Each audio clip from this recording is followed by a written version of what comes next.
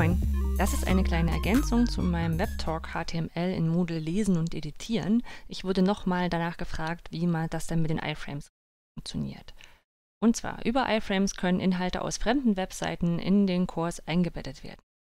Wir haben uns dazu das Ganze schon auf Moodle angeschaut. Und da habe ich euch gezeigt, dass wenn man hier auf Teilen klickt und hier auf den Punkt Einbetten, dann findet man hier so ein Feld mit iFrame, ähm, dass man sich kopieren kann und in seinen Moodle-Kurs reinkopieren kann und hat dann dieses Video eingebettet. Man kann bei YouTube hier noch so ein paar Sachen einstellen, zum Beispiel, dass es ab einer bestimmten Zeit anfängt oder der erweiterte Datenschutzmodus aktiv ist. Und so ähnlich funktioniert es auch bei H5P. Bei H5P habe ich hier unten in der Leiste einen Punkt mit Embed und kann mir hier den Code rausnehmen. Wie funktioniert jetzt das aber bei einem Tool wie Twine oder Flinger, bei dem ich diesen Code nicht offensichtlich irgendwo finde? Dazu schauen wir uns erstmal an, wie iFrames überhaupt aufgebaut sind. Und das können wir sehr gut auf der Webseite Self-HTML schauen. Suchen nach iFrame, finden auch einen Eintrag. Und der erklärt uns, iFrames äh, sind Elemente, mit denen man eben Seiten, äh, ähm, andere Seiten einbetten kann. Und die haben verschiedene Attribute. Und das, was wir am meisten brauchen werden, sind Höhe und Breite und natürlich die Quelle. Also in welcher Quelle sollen Sachen eingebettet werden. Hier unten gibt es ein Beispiel und dieses Beispiel könnte man sich jetzt kopieren und die Inhalte austauschen, die hier sind. Also man könnte die Webseite durch die Webseite von Flinger oder von Twine ergänzen, man könnte die Breite äh, rein äh, ändern, man könnte die Höhe ändern und noch ein paar andere Sachen ausprobieren.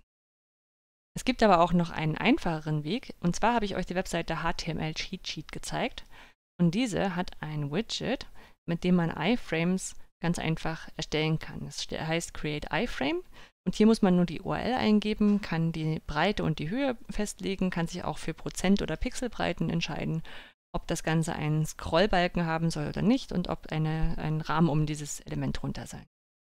Wir probieren das aus.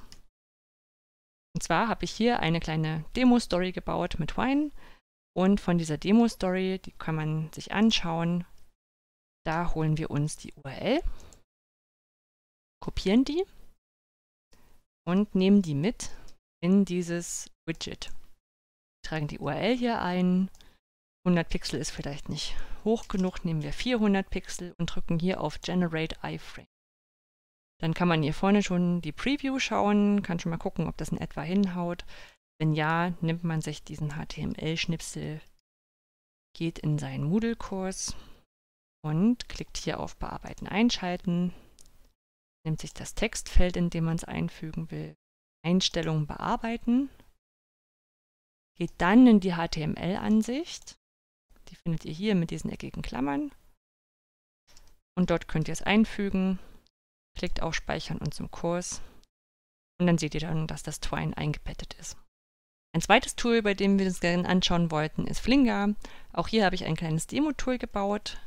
Von dem holen wir uns die URL und geben auch diese in den Generator ein. Höhe können wir ja so lassen, generieren den iFrame, dann wird das hier drüben auch schon angezeigt. Kopieren uns das und können auch das über Einstellungen bearbeiten, in die HTML-Ansicht wechseln, reinkopieren können das hier auch schon mal anschauen. Das sieht so ganz gut aus. Und können das abspeichern. Machen wir den Bearbeitungsmodus mal noch aus.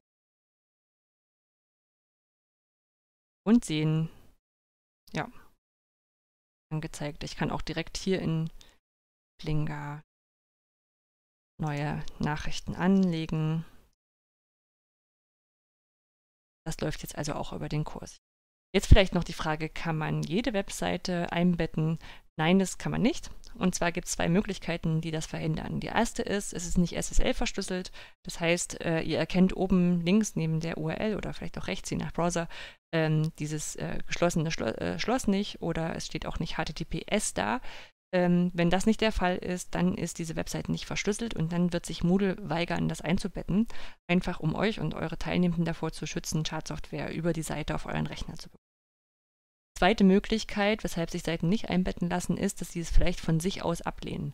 Dazu haben Sie kleine Codeschnipsel auf der Webseite. Die, äh, die anderen Seiten, die versuchen Sie einzubetten, sagen, nee, bitte, ich möchte nicht, dass ich eingebettet werde.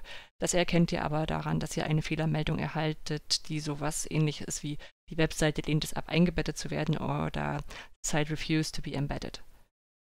Das war's schon. Vielen Dank fürs Zuhören. Bis zum nächsten Mal. thank you